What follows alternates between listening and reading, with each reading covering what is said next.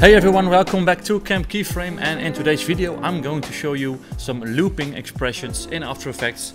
This way you can loop your animations with some easy uh, text you can create in the expressions box. So here in After Effects I've got this little animation of these this little text that's just having a position and a rotation. It's just like turning around a little bit and we have these four balls and they're all their anchor point is here in the middle so when I turn them around I rotate them they're going from the middle point so they only have this rotation from 0 to 90 to 180 to 270 to 360 degrees. So they all turn around and they're just offset by one keyframe to make it a bit more interesting.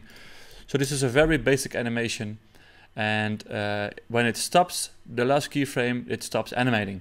But what if I want to keep this going? What I can do is copy all these keyframes and paste them uh, on there and then they will keep going.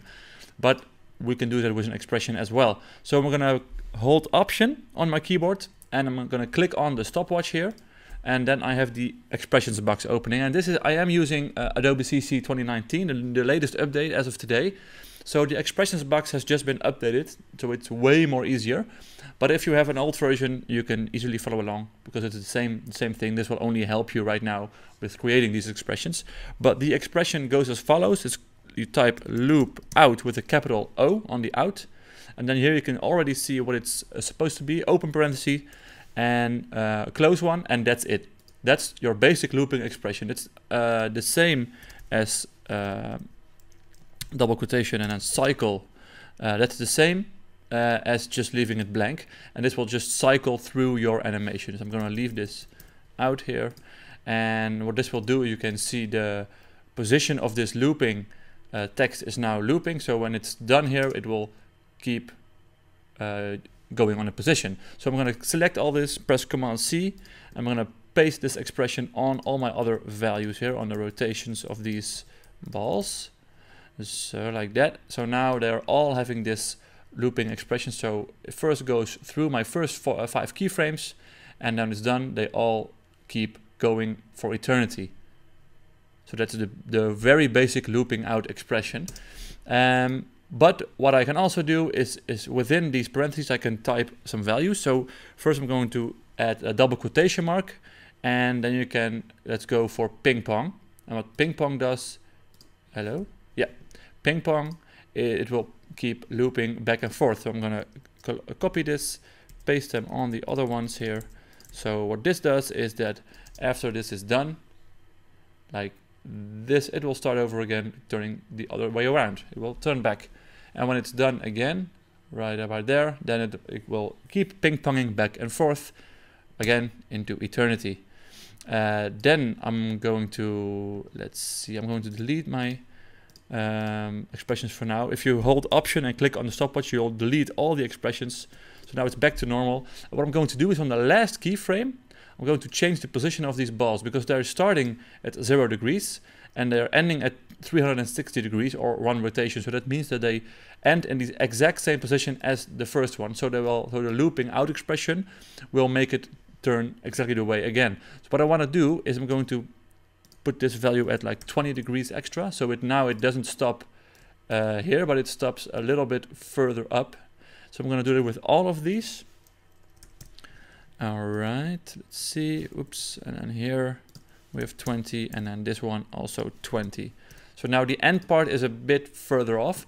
So if I'm going to, if I would loop this out, um, let's let's do the th same thing again. Copy all of them. Uh, right. So if I would do this, then if it ends here, they will just uh, snap back to the first point because it starts looping from the first point again. But I want them to loop from this point again.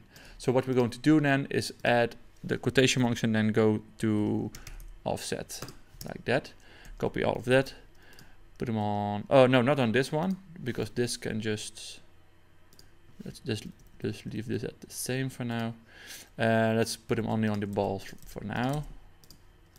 So like that.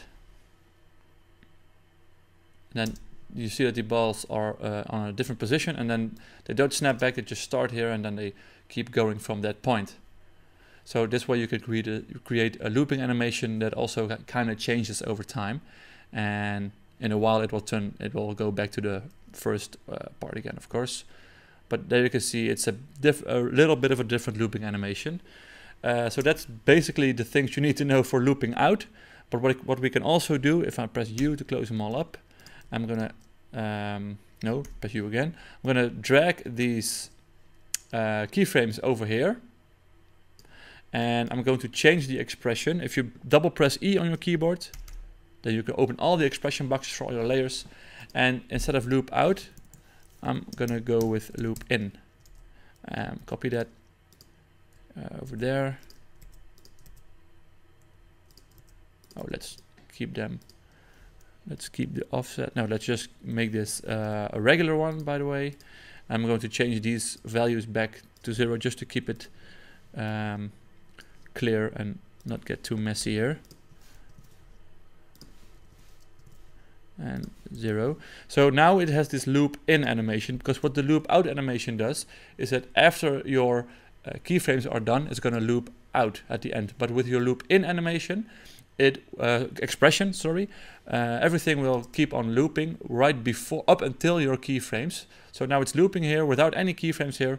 And when it comes to my keyframes, it does the same thing over again, of course. But then on the last keyframe, it stops. So that's where you, where you can use your loop in expression just to add the looping effect before, and then you can, um, with your keyframes, you can put an end to it if you would like. Um, yeah, so that's the basic thing about a really easy way to create some looping expressions. You only really need these three, four things uh, to create the most looping expressions you want. Uh, and it looks great and it's really easy to do. Uh, thanks for watching and I hope to see you on the next camp keyframe. Thanks, bye bye.